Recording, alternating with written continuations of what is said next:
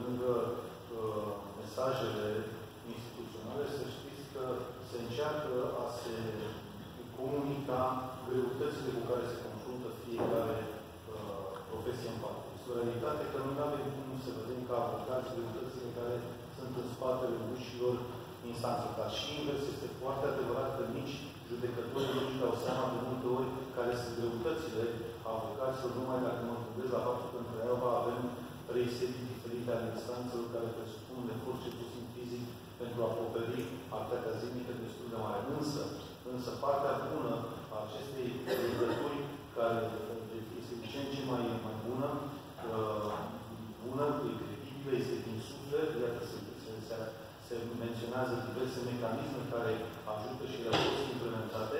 Partea bună uh, este că am încercat inclusiv eu, în cadrul lanțurilor instanțelor, atât și colegii din Consiliul care au fost prezenți, să comunicăm aceste, să spunem, neajunsuri, anumite nuanțări, anumite propuneri, să încercăm să îmbunătățim această activitate. Până la urmă, mesajul, cred eu, și al colegilor uh, magistrați, și, și al membrii Consiliului Valori este în acest sens.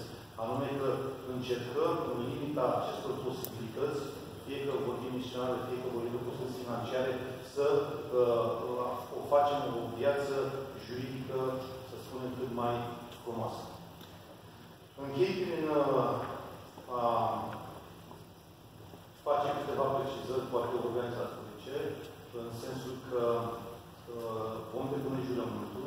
Jurământul va fi depus de fiecare avocat, avocat judecător și avocat stagiar, pe care am făcut un film anterior, pentru că toată lumea a făcut ideea aceea când uh, magistrații participă, judecătorii, uh, iată, vin chiar în birourile de avocatură. Și chiar am făcut fiecare an doi, trei judecători și mi-a foarte important. Este maniera directă de a afla cum este viața avocatului. Și, de exemplu, noi am încercat să ducem chiar în instanță, să participe la un întâlnire cu un client, să vadă ce înseamnă, pentru că de multe ori presiunea care vine din partea clientului în realitate este estompată de către avocat. Avocatul este și uh, un film, spunem noi, să spunem așa, psihanalist, care încearcă să estompeze toată această energie negativă, să o a justițiabilor și atunci când se ajunge în instanță, deja avocatul reușește, de fapt, prin mecanismele proprii, prin redactarea cererilor, de fapt, să ofere un plus de câștig și de încredere clientului respectiv. Dar prezența de către uh, magistraților în astfel de formule inițiale de formare profesională uh, este, este binevenită. Continuând uh, cele, cele anterioare, uh, vom depune, deci fiecare avocat stagiar va depune uh, jurământul individual, va fi invitat și o face în ordine, uh, în ordine alfabetică. Uh, se vor ridica doar membrii Consiliului uh, Barului și membrii colegii de la prezidiu, restul persoanelor nu trebuie să se explice. Aceasta este prevederea din uh, legea 51 pe 1995, anume că uh, jurământul profesional se face în fața Consiliului. Eu mulțumesc această cale tuturor colegilor consilieri, pentru că, în realitate, decizia este luată de dâns și evenimentul este organizat în marea unor decizii colective și uh, luată în unanimitate. Uh, motiv pentru care, repet, este un prilej și eu să le mulțumesc pentru activitatea pe care o fac zi de zi, pentru că baroul nu înseamnă numai declanul baroului, ci înseamnă, uh, până la urmă, este un sport, să spun așa, de echipă. Este o activitate care presupune mai multe persoane, mai multe și presupune să fim mai uh, toți implicați, toți colegi. Deci aceasta a fost și viziunea până la urmă a legii și uh, mulțumirea vine și pe ce spun, pentru că uh, au înțeles colegii consilieri să uh, părăsim sediul baroului, să venim, iată, în fostul Palat de Justiție, din punctul meu de vedere, revin la simbolistica inițială, în acest Palat de Justiție, unde și baroul, acum 100 de ani, și avea uh, sediul. Uh, repet, este important că, iată, uh, toți colegii consilieri sunt prezenți să vă ureze prin intermediul nostru, prin intermediul uh, colegilor uh, care au ținut la puțin să vă felicite pentru reușita noastră și să vă ureze uh, o activitate uh, bogată. Voi începe cu primul uh, coleg stagiar, Armejanul George. Să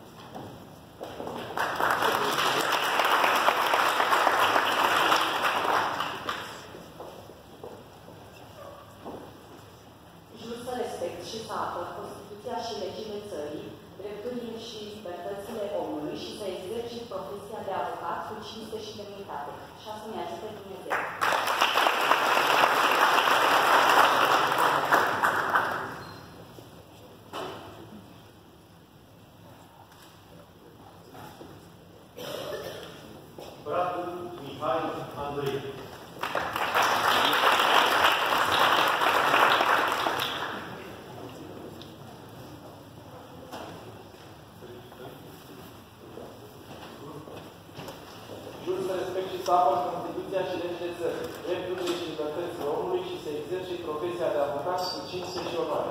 Așa să ne ajute Dumnezeu.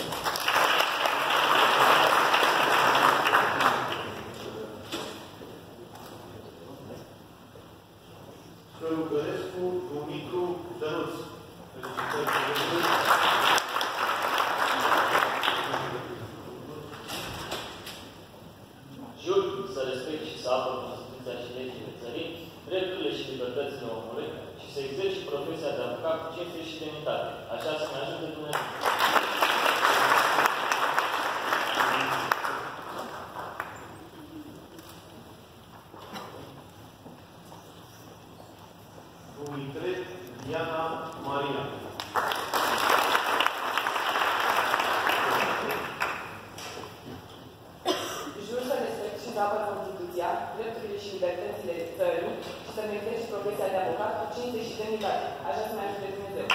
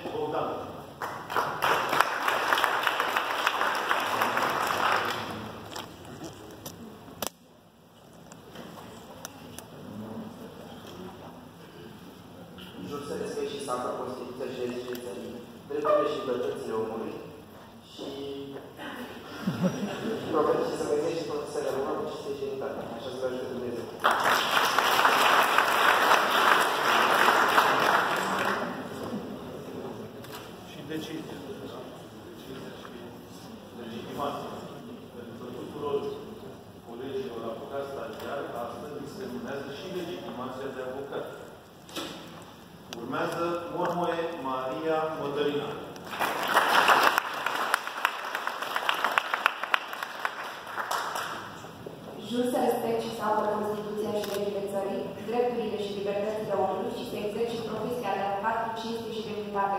Așa să merite.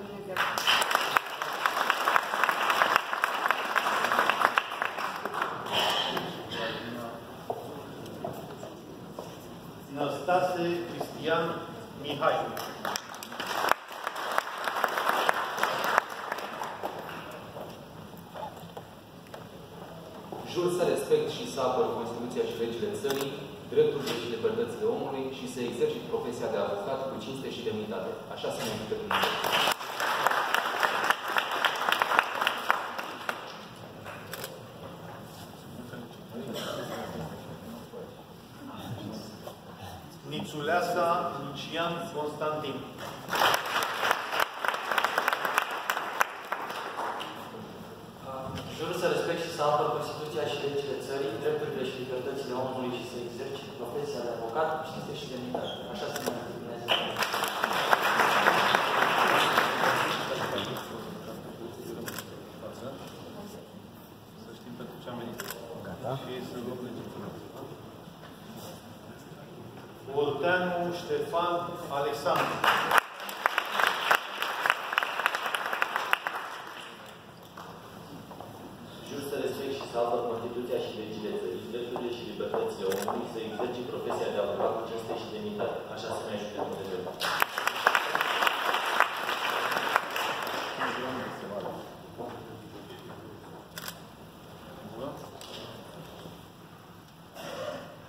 Oscaru Cristina Valentina.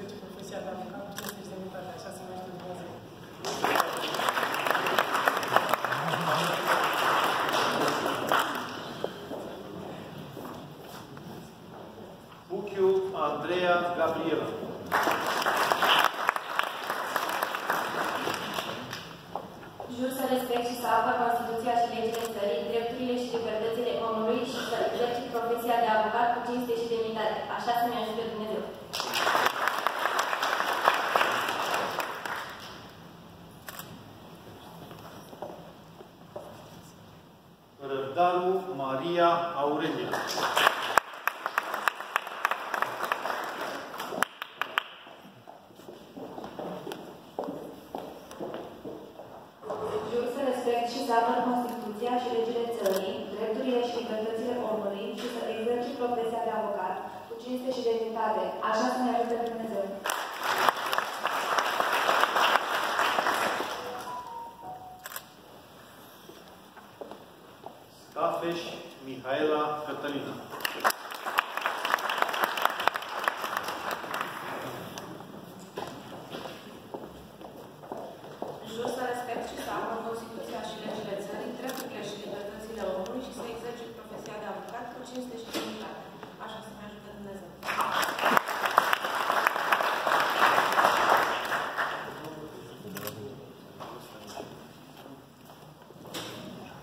Stoica, Oproiu, Ovidiu, Valentin.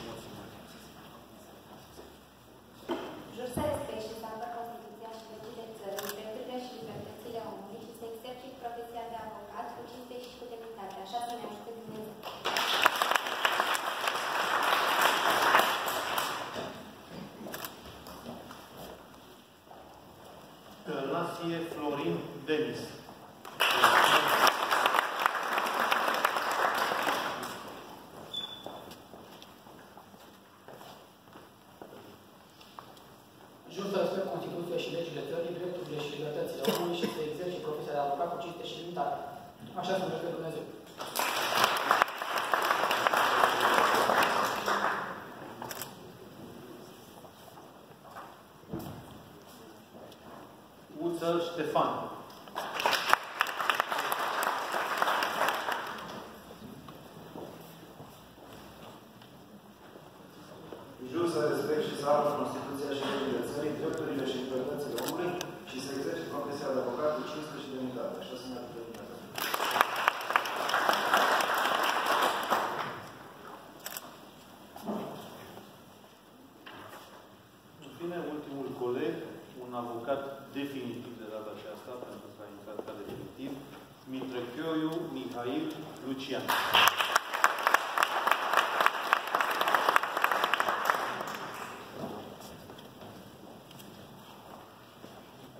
să respect și să apăr Constituția și legile țării, drepturile și libertățile omului și să exercit profesia de avocat cu cinste și demnitate. Așa spune